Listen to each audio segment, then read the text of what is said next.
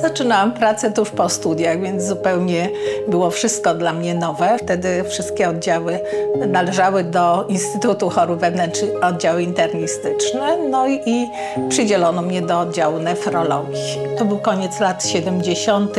Nefrologia jeszcze była bardzo starożytna, ale wchodziła w okres ogromnego rozwoju. To był jeszcze okres, jak ja zaczynałam pracę, kiedy właściwie do leczenia narkozastępczego kwalifikowało się tylko 10-15% osób, które e, m, powinny być dializowane. Był bardzo mały dostęp do dializoterapii. Zawsze myślę, że to, co zobaczyłam na samym początku, to właściwie należy już do historii, o, o czym jest czasem wspominane w podręcznikach nefrologii, to znaczy przygotowywanie dializ jeszcze to bardzo starymi sposobami, gdzie na dyżurze panie pielęgniarki, zespół pań pielęgniarek przygotowywał dializatory, które miały być użyte następnego dnia i panie całą noc siedziały, nawijały na odpowiednie szpule błony dializacyjne, w których potem krążyła krew e, chorego do oczyszczania.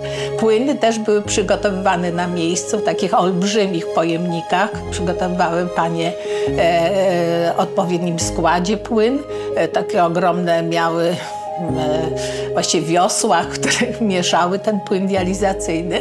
No i, i tak wyglądała dializa, znacznie dłuższa, bo trwały nawet 7-8 godzin takie dializy. Najbardziej emocjonujący był czas koło drugiej, trzeciej nad ranem, kiedy sprawdzało się, czy e, te nawinięte dializatory są szczelne i nie przeciekały, bo jak przeciekały, to nie nadawały się do użytku i trzeba było zaczynać od nowa i wtedy dializy następnego dnia zaczynały się z opóźnieniem. E, Ja zostawałam na dyżurze sama i było to ogromna nauka praktycznej medycyny. Trzeba było sobie poradzić różnymi sposobami dostępnymi e, na oddziale z ogromną współpracą pań pielęgniarek. One były bardzo doświadczone i też bardzo zaangażowane, ale to była ciężka taka praca ratowania życia często na dyżurach. Na oddziale nefrologii, jak ja zaczynałam, było bardzo wiele zwłaszcza kobiet, młodych kobiet chorych na toczeń.